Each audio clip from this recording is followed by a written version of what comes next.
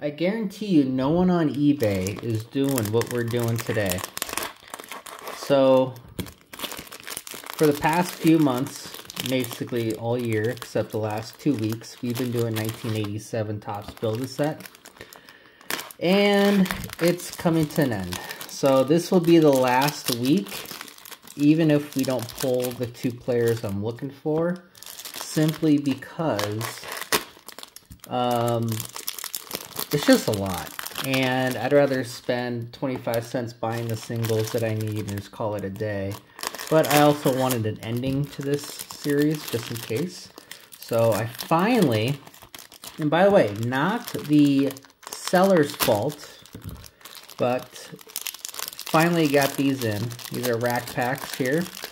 Old school. We got, I think, three or oh, four or five of them in here.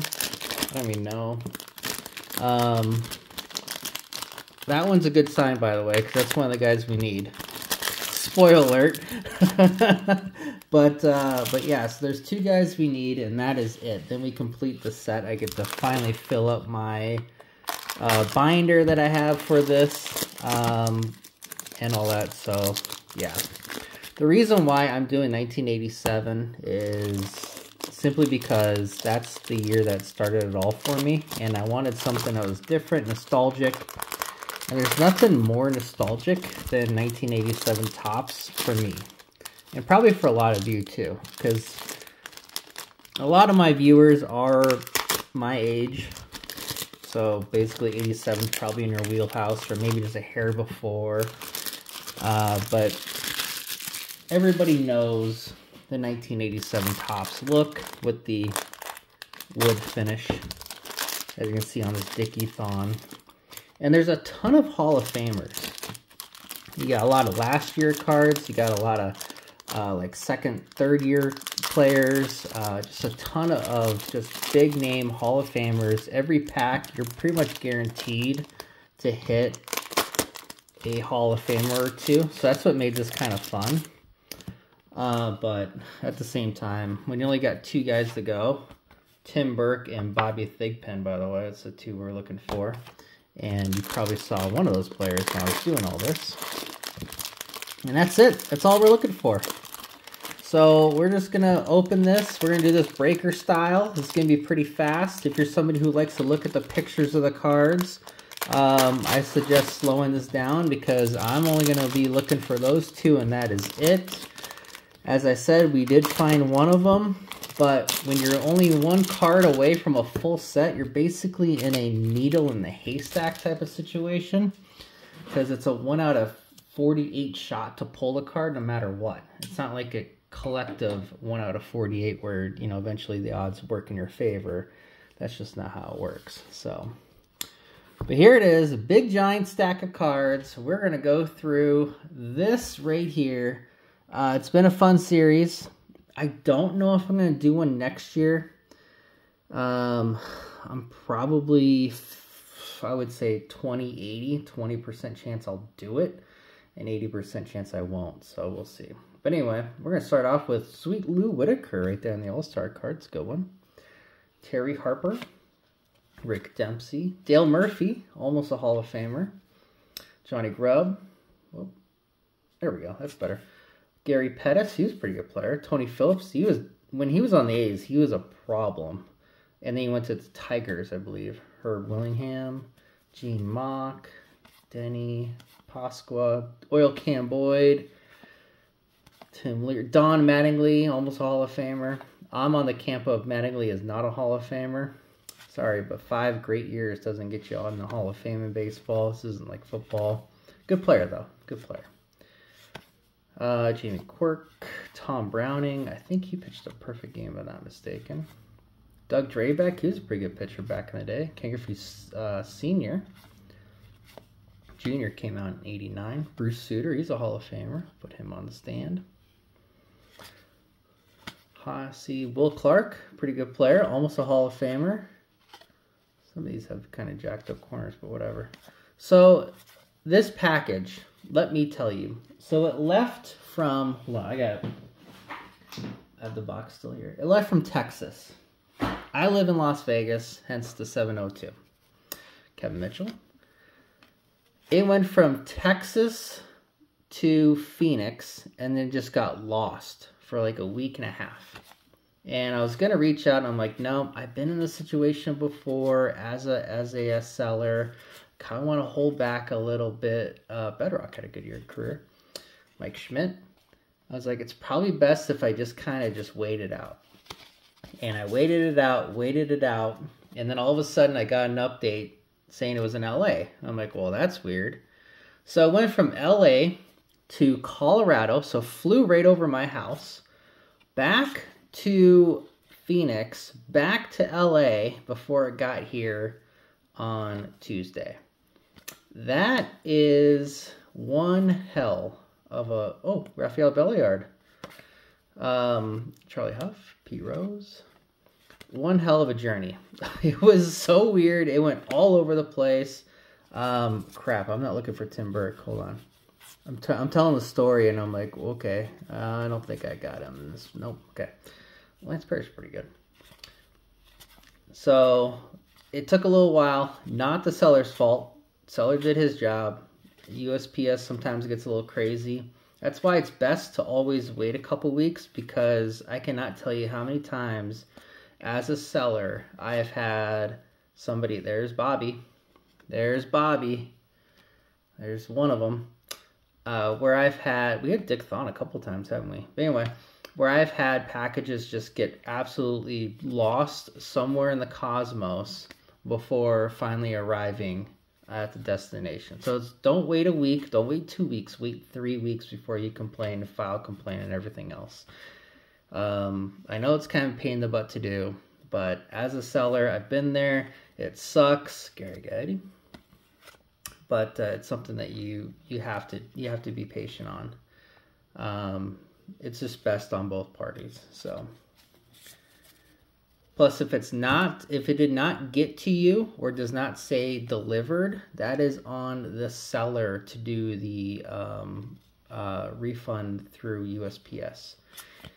That is what USPS suggests, and it's actually a pretty easy process. Not very hard at all. Um, ooh, Roger. Not a Hall of Famer, though.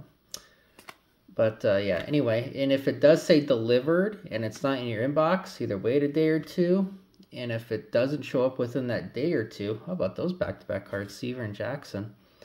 If it doesn't get there in a day or two, the seller or the excuse me, the buyer has to do the report because they have to file their own report, your mail carrier, on the item itself because it could be a crime if it was stolen. So keep that in mind. And yes, that is a pain in the ass on the buyer, but that is what they suggest people do. So keep that in mind.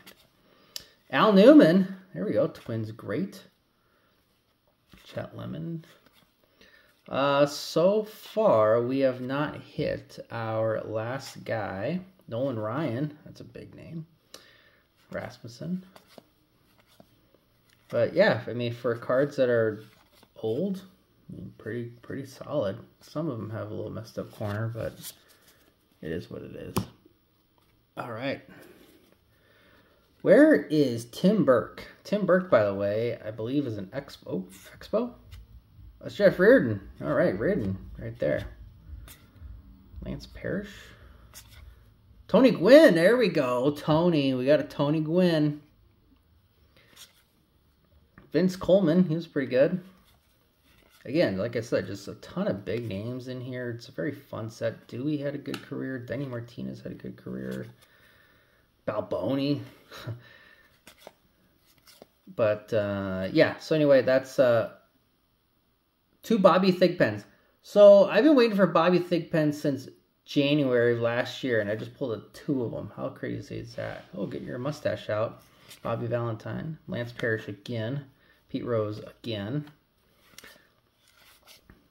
Juan Berenguer, that guy threw gas.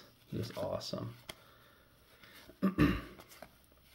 yeah, this uh, set very nostalgic for me. Um, awesome, fun rip. Another Kevin Mitchell. Just had a blast opening it, doing all this. Um, I don't. for me, this is the most fun part of the hobby is when you do things like this. The ultra modern stuff is whatever. But, oh wait, Carlton Fisk's a Hall of Famer. And so is uh, Robin Yount.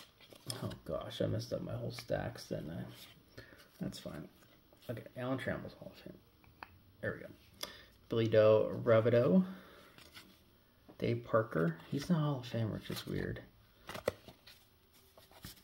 All right, we are waiting for Tim Burke to make an appearance. Come on, Tim Burke. There's only 18 million of them printed, and I cannot find him.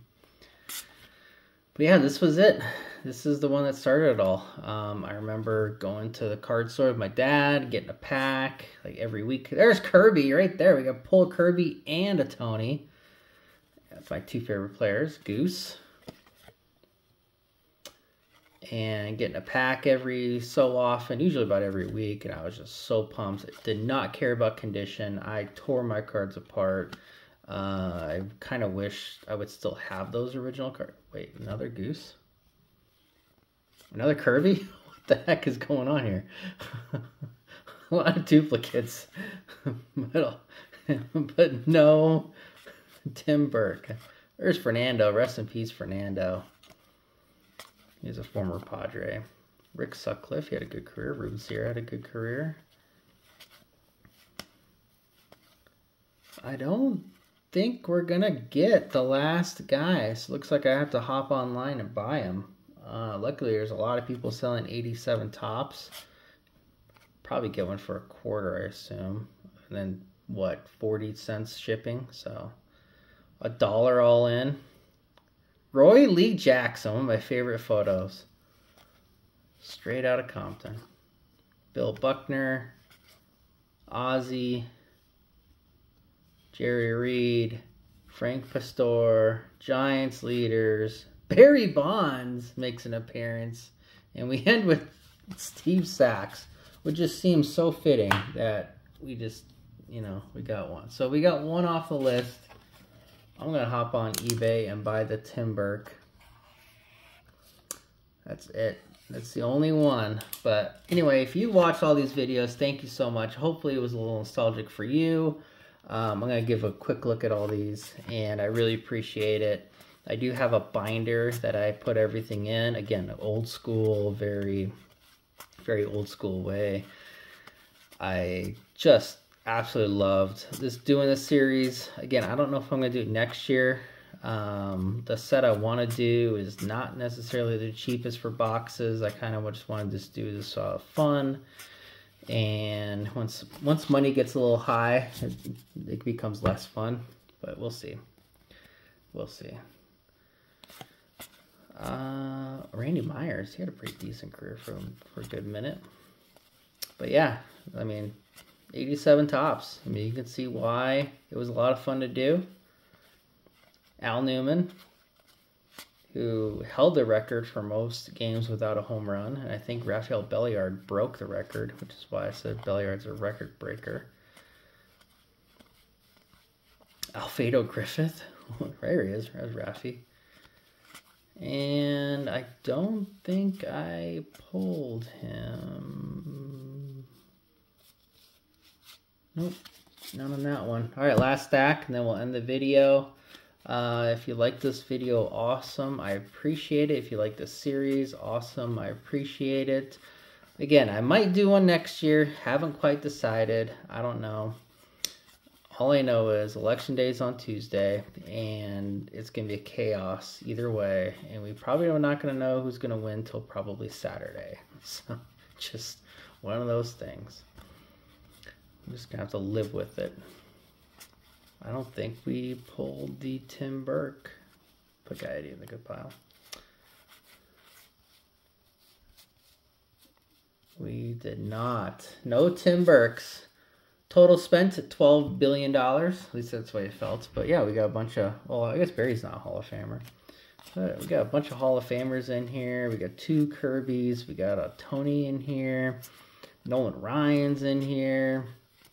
Ripken, the back-to-back of Reggie and Seaver. That was fun. Ricky, Suter. So, that's it. All right, that's the series. set will be complete in a couple days when that card cut comes in. And until next time, everyone, have a great day. Thanks.